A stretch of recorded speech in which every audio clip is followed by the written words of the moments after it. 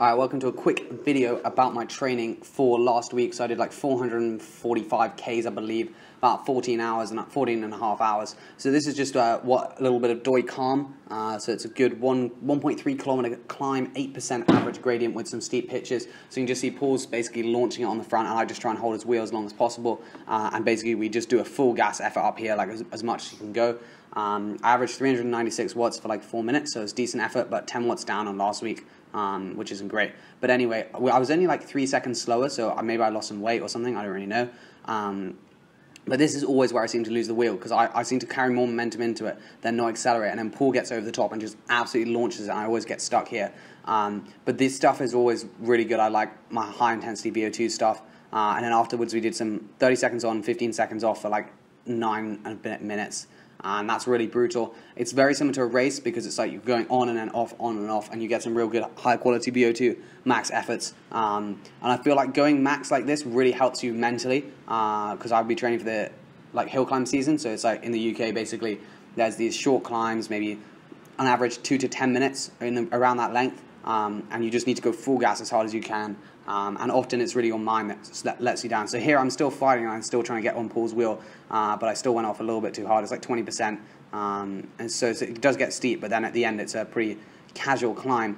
So for me, I feel like these efforts that help me quite a lot. Um, just in terms of mentally, but also just like doing VO2 max efforts really helps like threshold as well, uh, which is one thing I'm trying to sort of develop at this moment in time before I focus on more uh, more VO2 max when I get close to the hill climb season, which is sort of September, October time.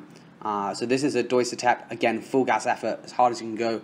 I was trying to get my PR, unfortunately I didn't get it, um, but you can see we're not going very hard at this moment in time because basically me and Paul both, well, Paul set the pace at the beginning and went quite hard, and we both not really feeling great. So you can see on the wheel we're doing like 290. I think I only averaged 311 watts or something, uh, which wasn't great. So anyway, I think here I decided to come around maybe uh, and try and help him out and do a turn, but then I just realized I was absolutely cooked as well. Um, it was a real, it's one of those days when you're just not feeling it, and it was quite hot and like just just didn't really seem to like nothing seemed to really go to plan. My watts were about nine watts less than my PR, um, and that on a sort of longer climb makes quite a lot of difference in terms of time. I think I did a 20 just over 29 minutes uh, on this effort, uh, and on my best ever is 28 minutes 30. So you can see that um, it's it's quite a lot of difference just the small amounts of watts. But anyway, it's definitely um, it's definitely good doing these full gas efforts. On this as well, I was like really struggling, but I was just like, actually, just relax. Just don't don't think about what's gonna come,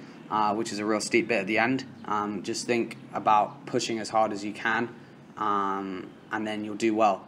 And that was basically basically what um, what happened. So you can see here, I, I come around Paul and just try and do a turn, but I mean, I'm absolutely cooked at this point. I really just can't do a turn. At the beginning, I was like, oh, I feel pretty good, but no, I just didn't. But the thing is with this is this is all good training. Um, at the moment, I feel like my training in terms of intensity is not too bad, but I just don't think I'm doing enough volume. I, for me, I feel like I just quite enjoy doing like 15 to 20 hour weeks. I feel like that really does help me quite a lot. Um, so this week I'm going to be stepping up and try and get like an 18 hour week or something in. Um, it's just that the problem is because it gets quite hot. It's really easy after like two hours just to like throw the towel and be like, yeah, that's enough. But I think I just need to do some like three, four hour rides with some good efforts, uh, which will definitely help uh, to just boost the threshold and like everything else.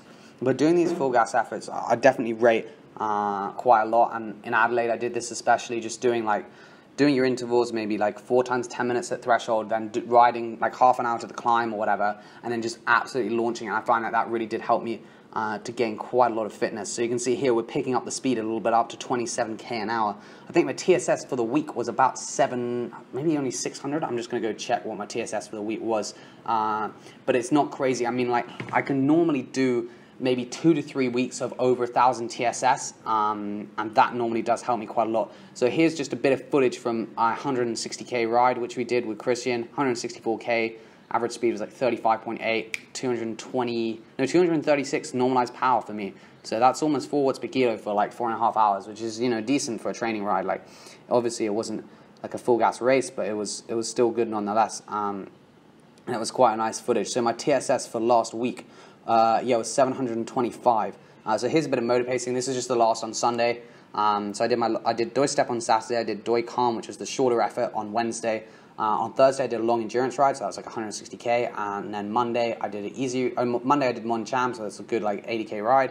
Uh, I think I'd end up doing 100 Tuesday rest day, Friday rest day, and then on Sunday we were supposed to do four hours, but both me and Paul weren't really feeling it, so I just did an hour. Decent intensity, just to keep the legs going, but nothing crazy. So you can see here, we're just doing a bit of motor pacing behind the cement mixer because I always like motor pacing. It's just good for the good for the morale because you get a lot of speed, and also uh, I feel like it's just good to practice accelerations, pedaling at high speed, etc., etc. Here, I mean, pedaling at high speed is not really a problem because it's so easy to go 50k an hour. Like 50k an hour is like 300 to 350 watts sometimes, uh, if there's also traffic overtaking. So yeah, it's pretty good. Um, and I just, I don't know, I, I enjoy my motor pacing. it also gives me a massive ego boost when you get home and see like a 36k an hour average speed. Uh, it really does just boost the morale. So here behind some truck uh, with some chicken eggs in it, which is a bit not not my sort of cup of tea. It's a bit ridiculous. I don't know why people still have eggs, but anyway, that's the world we live in. Absolutely clueless world. Uh, but we're getting like 50k an hour behind it. It was a good draft, uh, so it was good. I mean, I'm happy the truck was there, but I'm just not happy about the eggs. Uh, but yeah, it was good good training week last week. Uh, enjoyed it.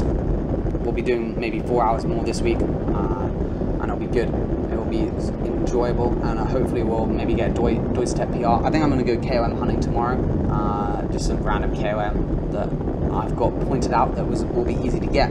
So anyway, cheers for watching. I hope you enjoy this. If you have any more questions about my training, like just check out my Strava link below. That's the best way of following all my training. I'll do more videos like this because I know people are always wondering what I get up to. Uh, but there we go. This is coming to the end of the vid. So cheers for watching, and I'll see you in the next vid.